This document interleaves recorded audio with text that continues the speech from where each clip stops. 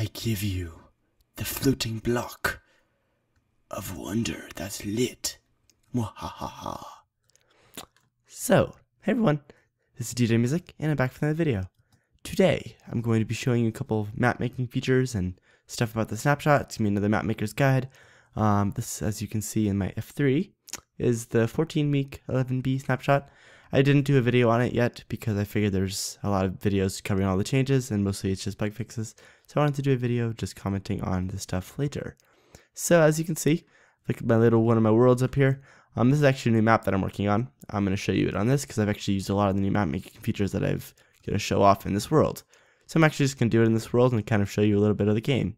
So, as you can see, this is completely lit. If I build up again, you'll see it's still lit. It's just pretty awesome. Like if I do it again, I can build up from there. I can build up from here. Just destroy this and uh, build up. You'll see it's always lit. And I'll do my little magician thing. Nothing up here. You don't see any cursors. Nothing there. Nothing there. Nothing there. Nothing there. And nothing there. So, you, you I mean, something has to be going on. I mean, you can't just get this to work.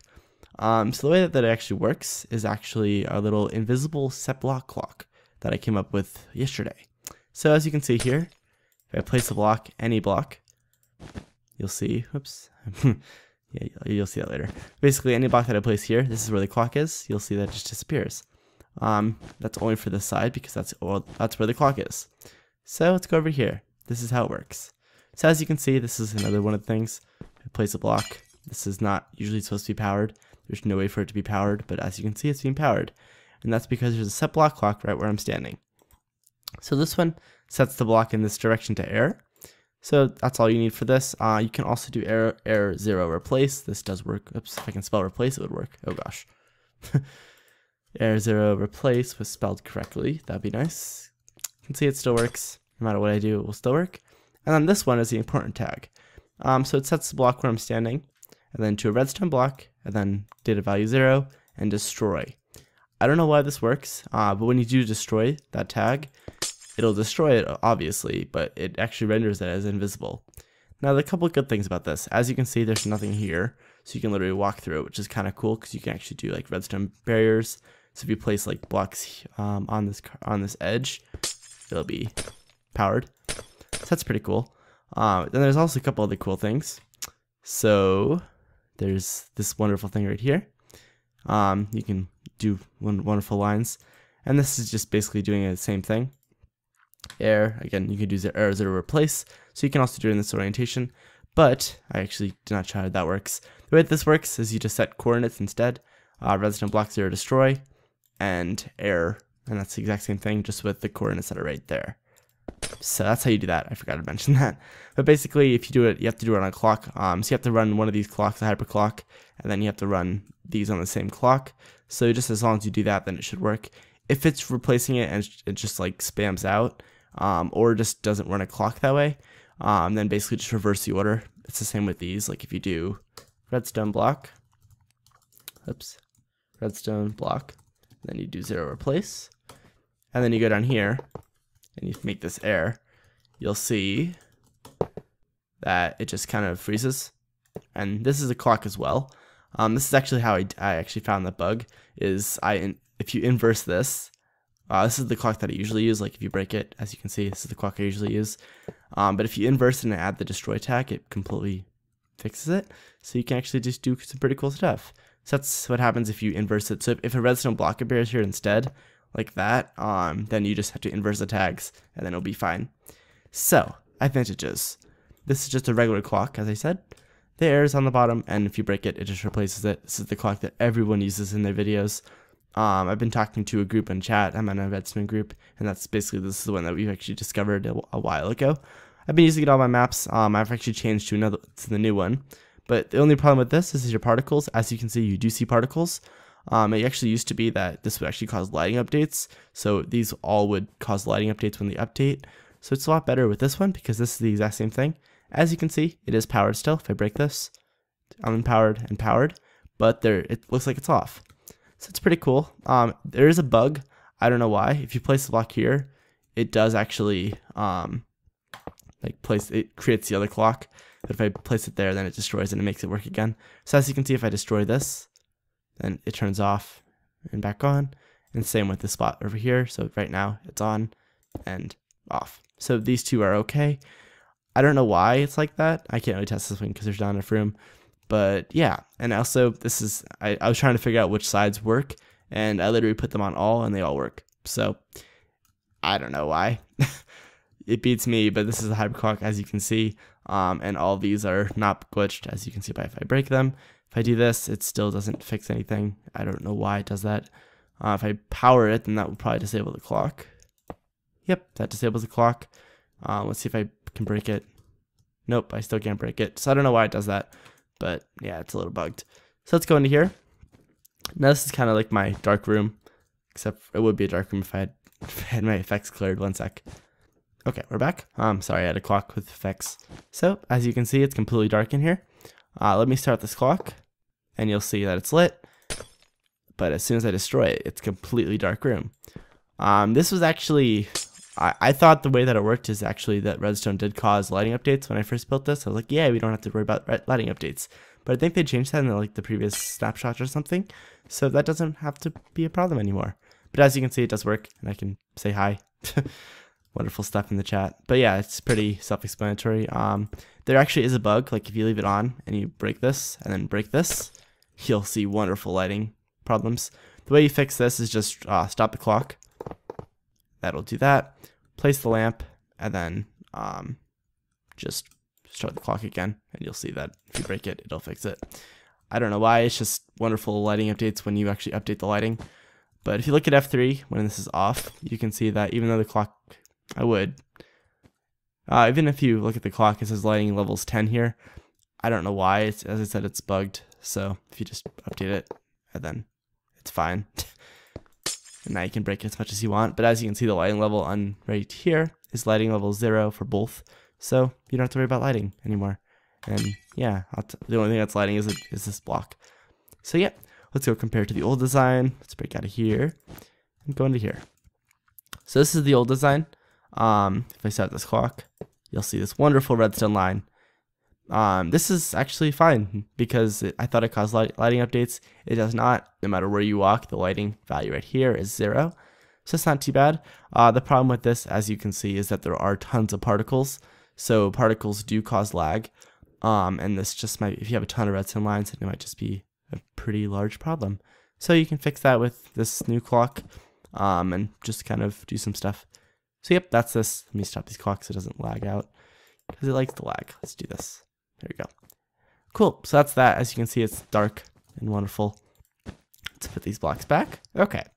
So that's the new clock. Um, it's pretty self-explanatory. As I said, if you didn't catch it, these are the two commands you run redstone block to zero destroy on the bottom, and error zero replace, or just error on the top. And as you can see, if I go over here, these actually are all disabled for now, but as soon as I turn it on, you'll see that the you'll see like a little spaz out, and then it'll just work. So this is how you can check it. Um, because you cannot look at the redstone lines to see if it's like working, you have to use lamps instead, which is kind of okay anyway because you probably should light up your redstone just because it's, it's a good thing to do. Um, but yeah, that's how you can check it if you put this anywhere you can just like put a lamp next to it and you'll see that no matter where you put it, it's still lit.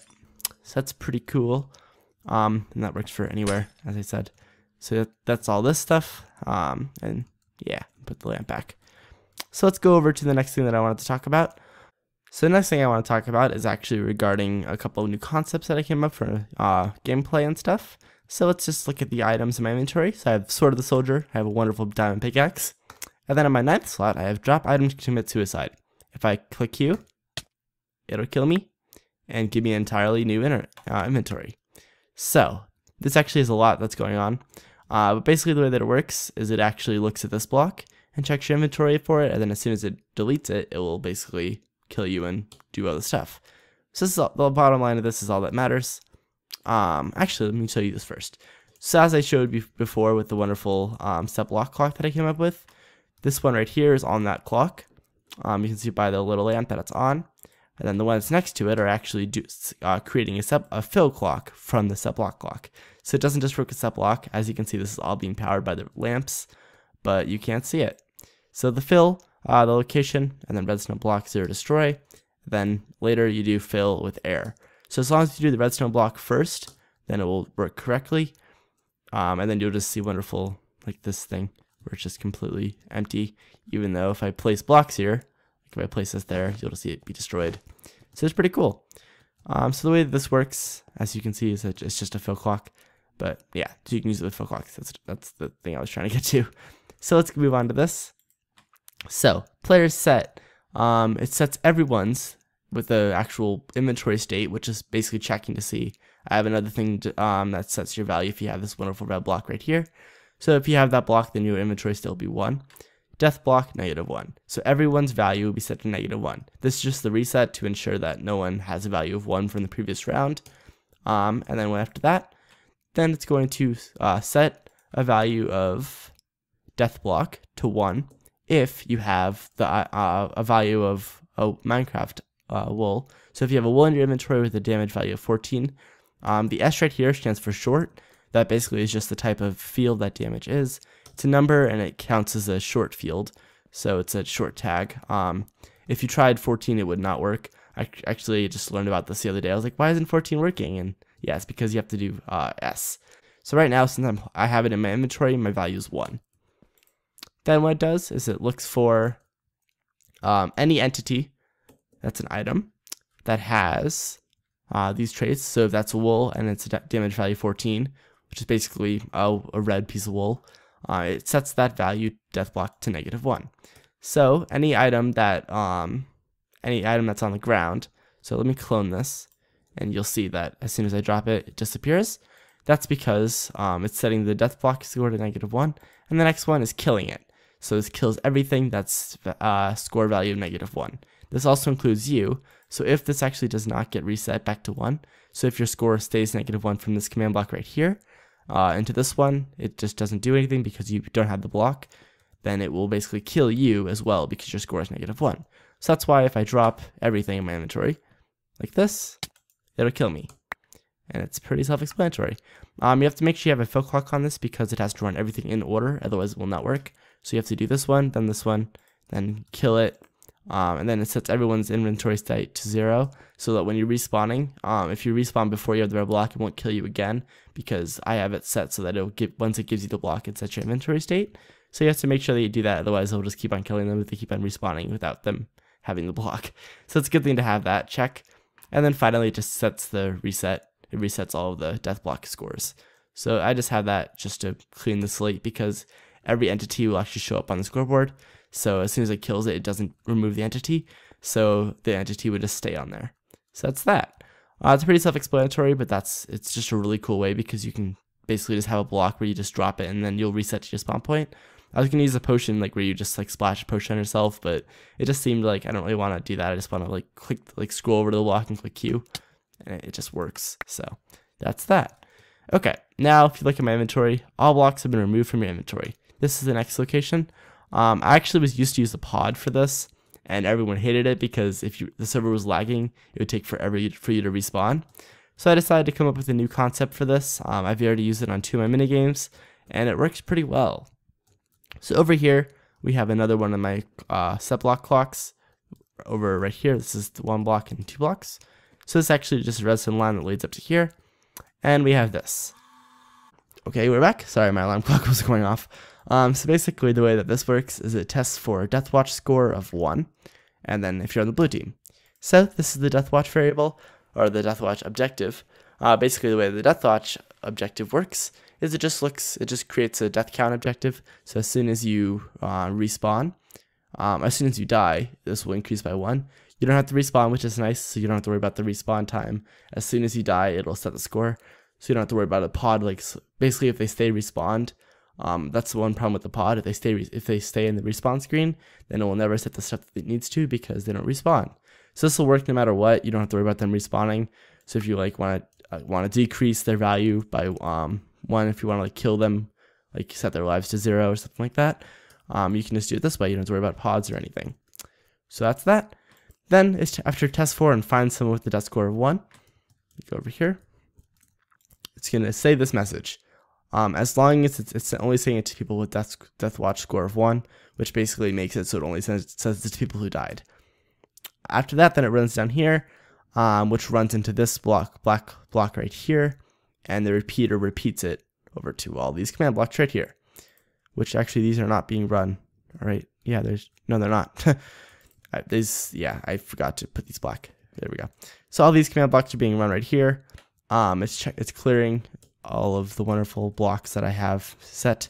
You can do stone swords if you want. So if you want to give them all armor, um, you can reset their stone swords. You can do the slime balls like I showed you before, uh, bows, anything that you want to do. So you can just clear all the stuff that you want to clear, and then it's kind of like a, a, selective keep inventory, which is what I like it for because I don't want them to keep everything, but I want them to keep some stuff, so you don't have to worry about like you can't just do slash clear because that'll clear literally everything. So in this, I want to keep the pickaxe, I want to keep all the armor, but you don't want to keep like the pick, the sword because it might be like close to breaking, even though it has Unbreaking 127. But you know that's that's how it works. so after that, then basically it runs right here, uh, which is a fill clock. Now this, not fill clock, a fill command. This fills all of the commands right down here. So under this command block, there's a row. And if I, I'm gonna try to show you. So you'll see the blocks like right here and under all these just reset to redstone block. Now this triggers all these and all these commands blocks, um, all four of these just replace this with redstone block. So that'll basically run this all at the same time and that'll run for all of these. So basically no matter what your class, this each one of these is for a different class, it'll set your inventory specifically in that specific way. So the way that it works, it starts on this side. Because it goes, this is the north direction. Um, this is south, so it goes from north to south. I don't know why, it's just how they programmed it. So first thing it does, it gives you a new soldier, or uh, sword of the soldier. And then I, you already have a pickaxe, that's why this is blank. Third one, and this basically gives you, this is the cool thing that I found out. So I, it looks for death, uh, death watch score, that's the correct class. And then it gives you melon seeds, um, one, only one melon seed uh, with the with the value of zero, and then this is the name. So the way that I make it so it doesn't stack is if you set the names separately. So I just have like three spaces here. This one has four spaces and going down, etc. Um, until the very end. And basically, this just ensures that um, when it gives it to you, it will, each will take up a different slot. So when it clears your inventory, it'll be in the right location. So if I drop my wonderful nine, whoops, oh, I'm in the chat menu. If I click 9 and drop the item, you'll see all the items are given to the correct spot. Once you respawn, you don't see the melon seeds because it's already happened a while ago. So you can actually just like see and they're already in the right spot. This is in the ninth slot, which is how I like it. Um, but yeah, it's just a really nice way to do it. So I'm just going to show you to you one more time. If I go to the right spot, uh, it's on this side, I think. Getting lost in my own redstone. You know, it's bad when that happens. I am actually really lost. Hold on. Uh, it's over here. Yeah, I got this. So as you can see, um, I'll just kind of do an overview. If I drop the item, you'll see this turn on, which will fill all those. There it goes. Just fill all of the wonderful things, and I'll respawn. Um, so basically, if I have any blocks in my inventory that are specified, it will be removed, and I'm lost again. There he goes. I know where I'm going. So any blocks will be removed, and any other related stuff will also be um, given and you can do custom stuff. It doesn't have to be with inventories. I just do it this way because this is related to the game, but you can do a lot of stuff relating to that just because it makes it a lot. It's just really easy to detect players that have died and reset their inventories to how you so choose. Um, so yeah, also this, all it does is clears the melon seeds out of your inventory so that you don't just spawn with melon seeds in your inventory because that'd be kind of weird. Um, after that, then it just finishes this four tick delay, and then it sets everyone's score back down to, back to zero, so that it this just turns off. Basically, that's all it does is just to reset this back to zero, so that when the next person dies, it just is back. The final thing that I want to talk about is actually related to this. Um, this is actually, as you can see, it's a slime bomb. If I drop this, that'll it'll make me blind for a few seconds and make my vision go all weird. Um, you could do anything that you want to. I just did this for related to the game just because it's supposed to make you slow. So it gives you slowness as well as um, a blindness effect for a few seconds, and then it just runs out and you're good to go. So this is actually possible with the new snapshot uh, with the execute command, as well as setting entities to specific values. I think with 10 is when that came out. So the way that it works, um, you have a little wonderful fill clock right here, as you can see by that light. Um, and basically once the fill clock is on, it's going to set all entities that are items their slime score, so this is the objective, um, to a value of 1. So it, then the item data tags basically just check to make sure it's a slime ball. You can also check names if you want to do a specific name. uh, but I just want to work with anyone. So when you do this, it'll set anyone's with that within that general radius of uh, of, a radius of 10 um, to a specific, like basically to blind them like that. Okay, so once it sets this value, this sets it every single time something happens. So anytime you throw a slime, it'll immediately happen, which is exactly what I want. So basically over here, we have the test for command. So basically, as soon as it's set, um, it's going to activate this because it's checking for a score of negative one. So just with not just with players, you can run this on entities. Uh, so test for an entity with a score of one, that's a slime ball. So this this will only work for slime balls, of course. So if you throw any other item, it will just not work. So if I throw my pickaxe, it just it just throws a pickaxe. So now that we have that, uh, once it finds a player, this will activate. And then we have the cool part. So execute, uh, this basically just runs it as the specific thing at E to this location. So basically it's checking for an entity with a score of one and an item. So yeah, that's that. Uh, there's the three locations, so it's basically running on the exact location of the entity. And then effect, all players. Um, it's basically just the command that you want to run. So as soon as you run this command, the last part is just the command I'm running it, basically making anyone within 15 blocks of this entity um, that's a score of class 2, or that's less that's less than 2. It'll give them effective slowness for 10 seconds, um, and then a radius of, or not a radius, a, a strength of 5, and then this just basically removes the potion effects. So that's that. Basically just makes it so that it works well. Um, and then after that, this is all the stuff here. It just goes over to here. It kills the entity so it doesn't stay on the ground so people can't pick it up. And then it will just reset the slime score so that the entity doesn't have a score. Same as before. Um, this was actually the same thing as um, proposed. The at s was actually rumored for a while. And the way that at s worked, basically, if the test for command would actually pass the at s to the next command block. Now, this, it would be kind of cool because, yes, you could actually, like, say test for at p, and then would actually pass this on to the nearest player. Uh, but the nearest thing about, the nice thing about this is you can actually just set their value first, um, and then this does the exact same thing. So basically, I'm passing on this slime value to here using a scoreboard because anyone with a scoreboard value of one will be passed on. So basically, if I let's if I wanted to um, pass on a random player, then I could literally just say this. So if you do scoreboard, players set a random player, um, and then you just say it doesn't matter the data tags. So you could say score, or no, let's just say random variable, um, and then one. So basically, it'll set a random player's random variable to 1, and then you could test for a random uh, player with a score of 1 for the random variable, and then just run it on the, all those players, and then reset it right here. That would work. You could do that before. Now you can do it with entities, um, so that's definitely nice if you you can actually check that. And then you can also, like, if you want to make sure that it, if they have like a specific block, so you can actually add a specific tag. So if you add, uh, if I can do this, I don't have it pulled up, so I'm gonna. I think it was like this. So inventory items, um, and then you say ID colon wool. So I'm not sure if this is the correct formatting, but you get the idea. So if they have wool in their inventory, um, then it will basically it'll, it'll check. So you can actually do a custom check, and you can actually do stuff like this. Um, and you could set their value to a random variable and then just pass it on. Before I go ending off this video, I just wanted to end on a high note and show you one other feature, just because I had a couple of new ideas. So, uh, basically this is actually kind of a thing that I've been wanting to do in Minecraft for a while. There wasn't a really good way to do it, uh, but now there is. So as you can see, I've joined red team and joined blue team in my hotbar. If you look at the sidebar, um, I'm actually joining the team. So if I, if I clicked on the slot 1, then it's going to join team and it's a value of 1, so I'm joining red team. And then if I click join blue team, then I'm switching um, to the blue team and my value changes to 2. Now, you can tell that I'm actually doing this in a way uh, that's related to the scoreboard because that's exactly what I'm doing. So, uh, if I select the first item slot, it's setting my value to 1. Select the second item slot, it's, setting my value to 2. Now, if I move these out of the location, um, I don't have a check, so it still switches between 1 and 2. Um, I literally am just checking the selected item slot, but that's the best way to do it. Also, this is the lobby. Take what you will. You probably can't tell exactly what the game is yet. Um, but yeah, this is the lobby. Let's head outside and I'll show you the actual four command blocks that this is that this requires if the clock actually works, which is apparently broken. Good to know. There we go. Okay. So let's head over here. And let's look at the four command blocks right here. So right here, this one is scoreboard player set, all players join team one. So it's setting everyone's um, join team one as long as their slot is zero. So if they're selecting the first slot, uh, which is under the name of zero, then it's basically making them, it's setting their value of join team to one.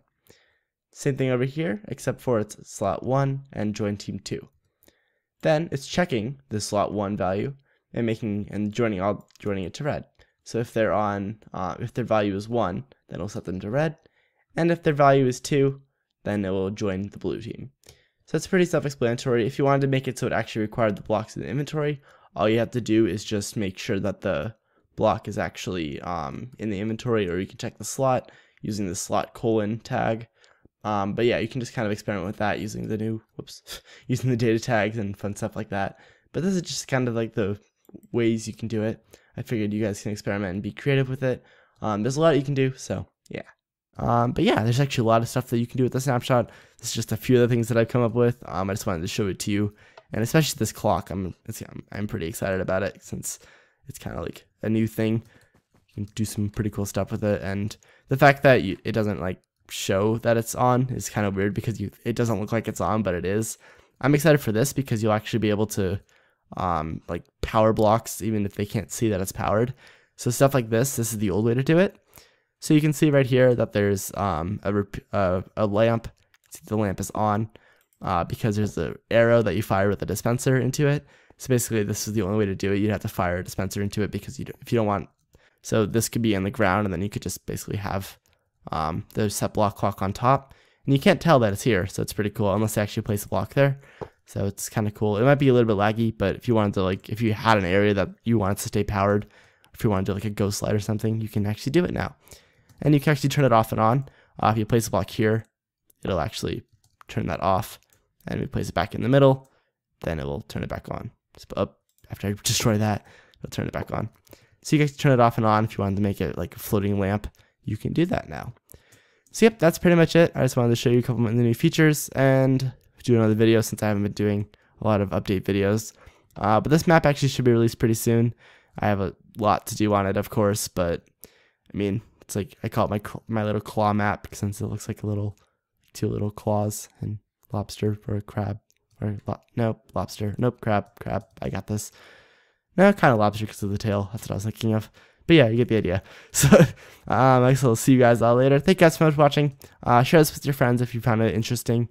I'm trying to do some more videos like this, just to, like kind of new concepts because it's kind of fun. I've been co concentrating on the map aspect of my channel just because I feel like it's a lot more fun to make videos and a lot more interesting because it's not something else everyone else does. So yeah, also follow me on Twitter. I release some um, like snapshots of some things that I'm doing. So you want to make sure that you actually know what I'm doing. And when it comes to filters um, and other map making stuff, I will release it on there first before YouTube.